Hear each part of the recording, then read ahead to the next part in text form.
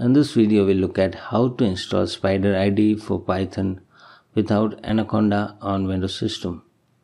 Uh, let's get started. So for this installation we'll be using a Windows command prompt. So to open Windows command prompt on Windows search bar search for CMD and here we have our Windows command prompt. Let's maximize it and first let's change the font for better visibility so I go to properties.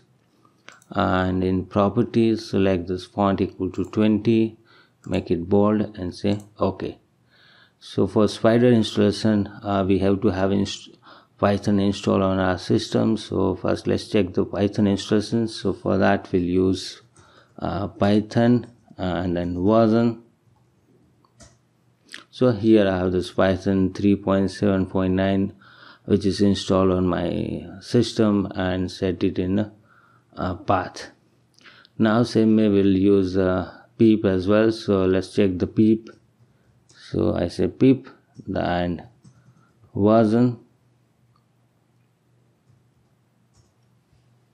So i have this pip 20.1.1 which is installed on this python 3.7 now we have to go to the directory where this python is installed. So for that i say cd and then c drive and inside that i go to program files and inside that i have this python 3.7 inside that i have the script. So we'll install this uh, Spyder uh, as a uh, python package so for that we'll be using pip with install options. So i say pip then say install then say the package name which is Spyder and hit the enter. So our uh, installation process is started which will take a while and we'll wait till this installation is completed and yeah one more thing is that while installing this Spyder package you have to make sure you have active internet connection in order to download the Spyder package. So now it's look like our uh, the Spyder package is installed. So now let's check the files for that package. So for that we use pip then show then hyphen f and then give the package name which is uh, Spyder and hit the enter.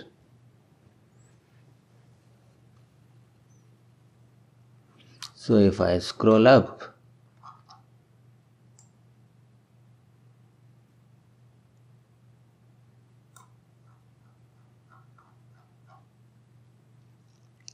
I can see this is the package is installed under this uh, path. So let me copy this let me go to that path.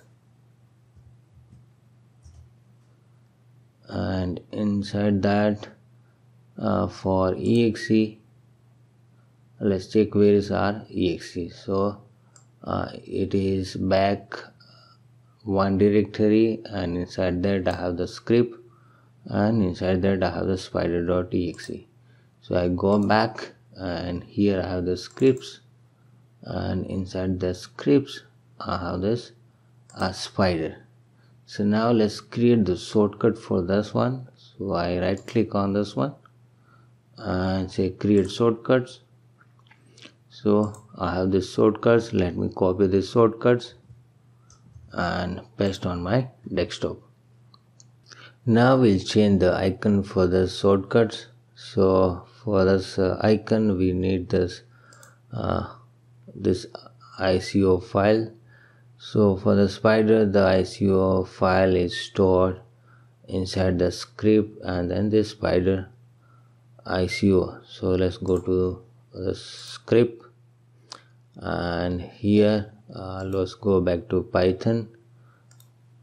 And here you have scripts and inside that you can see the Spyder uh, icon file. So now uh, let's go to desktop and right click uh, on this shortcuts go to properties. And here you have this change icon. So click on change icon and click on browse. And python then python then you have the scripts. And you here you have this icon. Just open it and say okay and say apply and say okay so now your icon is changed. So now let's rename this. So I say rename and say Spyder. Now let's launch this Spyder id so for that just double click on this icon. Yes so it's being opened so if you want to create a new file so just click on this file and say new file.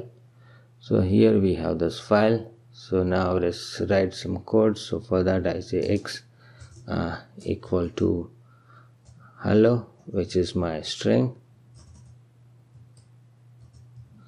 And i will print the string. So i say print and say x. Now let's save this so for that go to desktop go to python and i re i name is as simple dot py. And say all the files and save it. And uh, for execution you have this uh, green triangle so just click on this. So here in the right hand side you can see this output file that is hello and the file name is uh, c user manage desktop python. Yeah that's all for this uh, Spyder installation process. Hope this uh, video will help you to install the Spyder uh, for python uh, without anaconda on windows system. And hope you enjoy this video and see you in the next video